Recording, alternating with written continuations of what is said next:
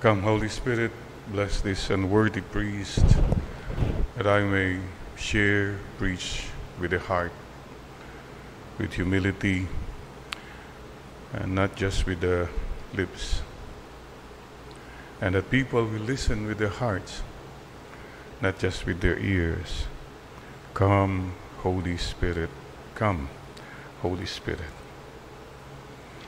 Dear friends, uh, I understand we are now in MECQ. ECQ is for us encounter Christ quietly. So MECQ, well, more encounter with Christ quietly. And ECQ is also enhance charity quickly. Mag-share po tayo. What's MECQ? More enhancing charity quickly. So, stay with the Lord. Stay with the Lord. And the gospel today is interesting. Husbands and wives, I don't know if you listened, because it said something about uh, about wives and husbands. So I'll just quote from uh, the letter to the Ephesians Wives should be subordinate to their husbands as to the Lord. But the husband is the head of the wife. Claro? I'm sure many people are. But you know, I also have many friends who the husbands are the ones who are subordinate. Nasa agribusiness. I agree. Yes. Ano bang sabihin ni Ma? Yes. I agree. Uh, sabi nga nila, some husbands are like yung split type aircon. No? Very noisy outside, but very quiet inside. Yan. And I, you know, the most subordinate husband I met was when a husband and wife, they were about 80 na siguro eh. They came to my office years ago and uh, the woman was the spokesperson. She kept, the husband was quiet, was just smiling. And then the first thing the wife said, Father, he cannot, he cannot hear. Ang hina. Ah, so she kept talking. And the husband was just smiling, smiling. May baston ganun. And then she said, Father, magko-confession siya, ha? Ah, sabi ko, oh, does he want to go to confession? Magko-confession yan. Dinala ko dito para mag-confession. Wow. Sabi ko, oh, okay. So, oh, di ka na, dito ka na, maiwan ka na, ha? Kausapin mo si Father, mag-confession ka na. And just before she left, she told me, Father, hindi nakakadinig, ha? Lakasan mo lang ang boses mo. Opo, sabi ko, Diyos ko po. So, I started, Lolo, oh, magko-confession kayo. Medyo malakas siyempre kasi nakangiti lang siya. Ano, mahal po tayo ng Panginoon ha. Magsisi na. Nakangiti lang siya. And then he did, he did something, hindi na siya nag-smile, bigla siyang gumunon sa akin. Nag-wink. And then he told me, Father, I can hear you. Hindi ba hindi ka makadinig? Father, akala lang ni Mrs. hindi ako nakakadinig for the past two years. nakakadinig pala siya pero para wala nang problema, Father, parang dingin na lang ako. Selective hearing. that really floored me. And my God. Anyway, this is a case here about the gospel, about selective hearing. Ayaw na nilang pakinggan. Yung mga sinasabi ni Jesus before the bread of life, okay, ayos yan. But when Jesus started talking about His flesh as food, His blood as drink, ah, iba na yan. Masyadong too much na yan. Sobrang over na. According to the gospel, from then on, many of his disciples stopped following him. many of the disciples returned to their former ways of life and no longer accompanied him. Because hindi na nila ma matiis, it's already hard to listen. Iba na ito. And here comes a beautiful, beautiful, uh, you know, action of Jesus. He kept telling the truth. He stood for the truth. Even if he was rejected, maybe persecuted, but he stood for the truth. Yan pong paalaala sa atin lahat ngayon. Stand for the truth. Stand with Jesus. Careful of truth decay. Truth decay. Nandyan po yan. Yun na naman pag may ano tawag doon, may bulok ng ngipin, mabaho po. We should stand for the truth. We salute people who stand for the truth until ito ang nangyayari. We salute you. You may be persecuted. You may be abandoned. You may be laughed at by this world. But Jesus is rooting for you. So stand. Stand for the truth no matter what. And stay with Jesus. Paki, I just like to say this. We have to tell the world, tell the children that it's okay to tell the truth. Akala kasi ng iba, everybody's lying na, pwede na mag-lie. No. It's okay, it's good to tell the truth. It's noble to tell the truth. And it's a God sent, God given obligation to tell the truth. May I salute all the truth tellers who fight tooth decay. And please tell the children also, it's okay to be kind. Parang kasi ang mode ngayon eh, yeah, matapang tayo sa lahat. Parang it's okay to be respectful. It's okay to be humble. It's okay to be gentle. We have to tell and retell the story of God's love from generation to generation. And God's truth will remain. No one, nothing can diminish God's truth. So stand by the truth. Stand with Jesus. And please remember, siguro itong magandang tanong ngayon sa ating lahat eh. When people are leaving, abandoning Jesus, He asks us today, do you also want to leave? Many times sa buhay po natin, we have choices to make. Will I stay with Jesus or will I leave Jesus? Again, marami sa atin, hindi lang selective hearing, selective following. I'll follow kung komportable, kung may perks, ganon. Pero pag gipitan na, ay sakripisyo na, eh, hindi na muna. Yun, placing, comfort zones, safety zones. Jesus uh, asks nothing less, nothing but, but your true commitment all the time. Mahirap po. There are many times. Like, for example, when I had to leave for Korea, I was a young priest. Sabi ko, wow, bakit ako pupunta? There was a, there was a um, mission assignment. Of course, you want to be here. I'm sure many of our missionaries who going to the foreign missions many times have thought, why should I go to Africa?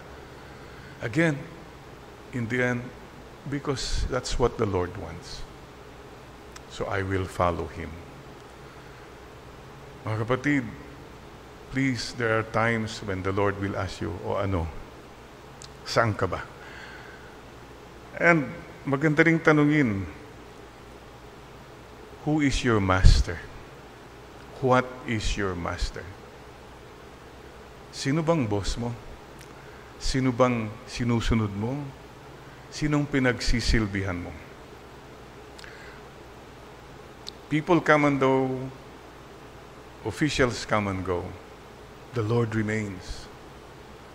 At gusto kong tanungin po ngayon, okay mga iba, wow, masyado kang tutok na tutok sa isang tao, parang, or, who is your master? What is your master? Sa mga taong who are so focused on personalities that could save us, or you're so focused on material things you're hoarding, ask yourself this question. Is is it worth it all? Lahat ng ginagawa mong yan, is he worth dying for? Is that money worth dying for? Bottom line, you will come before God. You and I, haharap tayo kay Lord. Sino naging master mo? Anong naging master mo nung buhay ka pa? Sana po at that moment in time, wala po tayong pagsisisi na we loved the Lord too little, too late. So today, lahat po tayo, let's make a decision. Lord, no matter what, I will follow you. Kayo po ang aking Panginoon. This time, there are a lot of goodbyes. God is the Lord of all our hellos and goodbyes. Don't forget that. Especially po yung mga namamatayan. Even death, the Lord is the Lord of death and eternal life. So all bases covered pag si Lord ang master mo. At walang, walang, walang pagsisisi.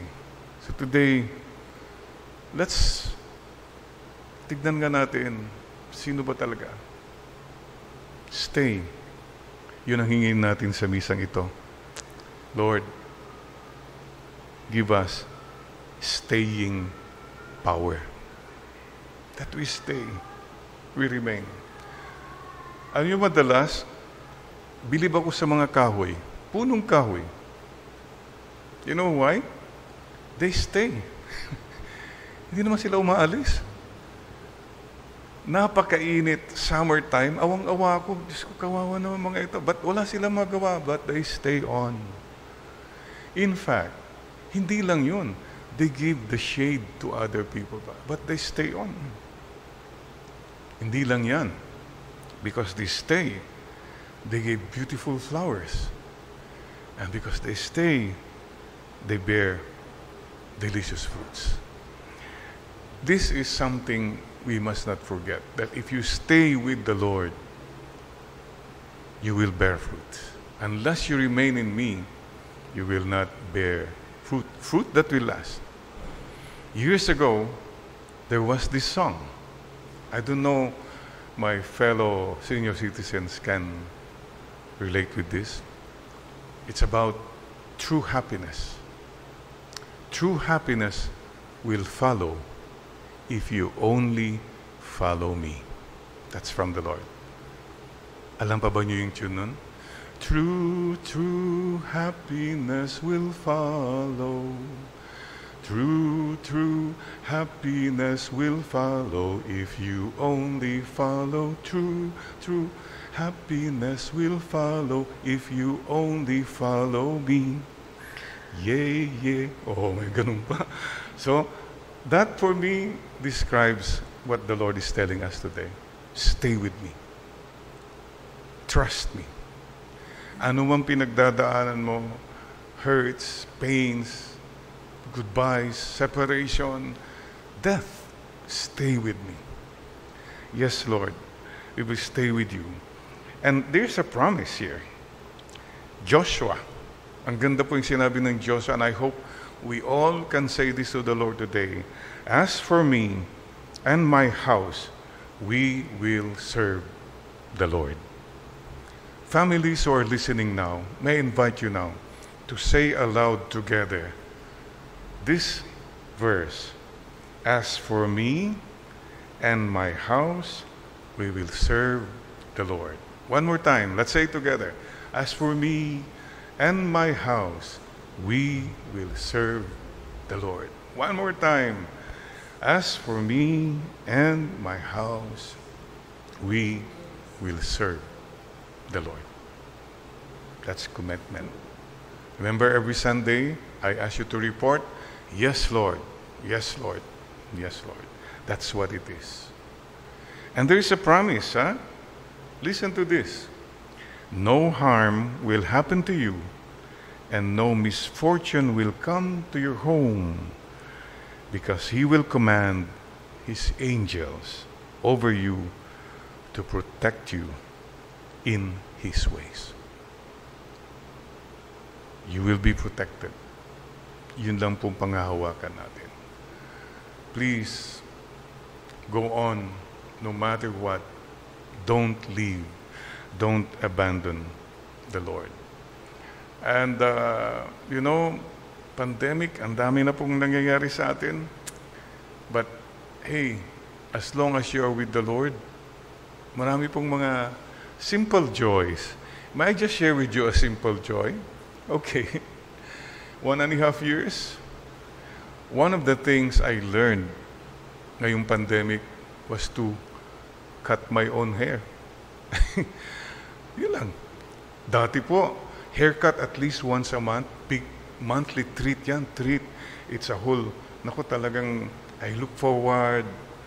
Parang, this was a, you know, big thing, big event. Now, walang nagugupit. Baka mahawa. So, ang dali pala. Clipper-clipper lang. Gano'n-gano'n lang sa, sa, sa mirror, no? Pwede na, pwede na. Dito, sige, pwede na, pwede na. Kung may nakakita, oy, father, parang tagi, oh, sila na, oh, sige. But I do it. In 3-5 minutes, tapos na. O, tapos na. No big deal. You realize after a while, hey, with simplicity come simple joys. I hope you realize that.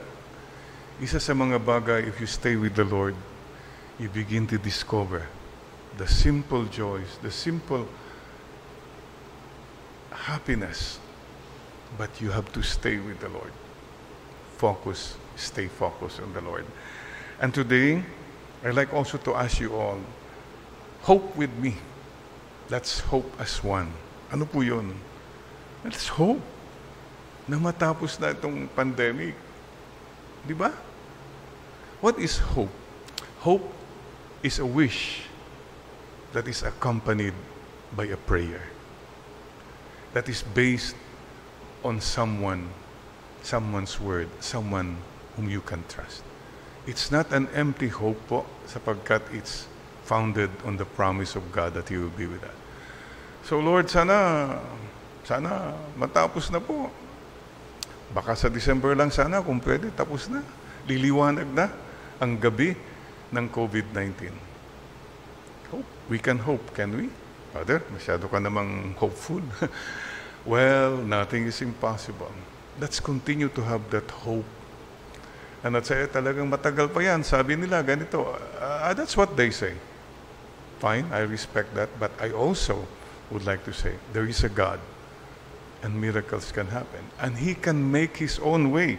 He will protect you in His ways. So hope with me. Let's keep hoping. And today, we honor Mama Mary, who stayed with her son Jesus all the way until death, until the, all throughout Jesus' life. Mary is our queen. So I would like to pray to Mama Mary. Let's all pray this beautiful prayer. Actually, the theme from the cardinal, because we are all weak. Many times we abandon Jesus.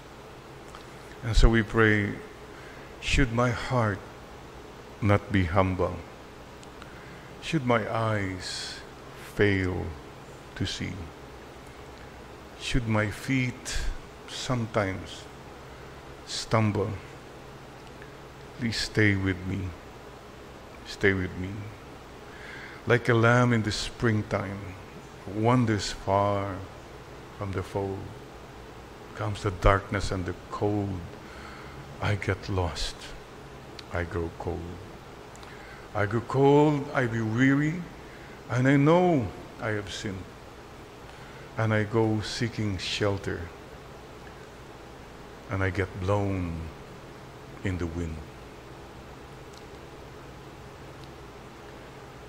Stay with me till I find to my wonder every path leads to thee. So all I ask of you is stay with me. Lord, stay with me. Stay with us, Lord. Like Mama Mary, our Queen. Help us to stay with you. Help us not to leave you. Help us not to abandon you. Amen.